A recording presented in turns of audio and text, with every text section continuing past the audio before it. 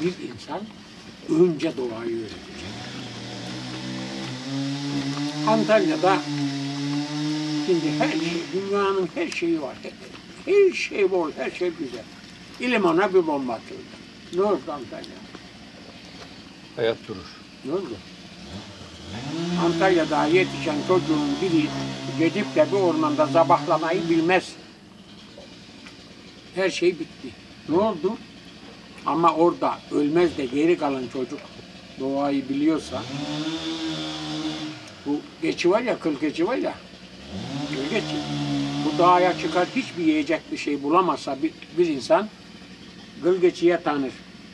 Kıl keçinin yediği her otu insan yer ölmez. Kıl keçinin yemediği otu yersen zehirlenirsin.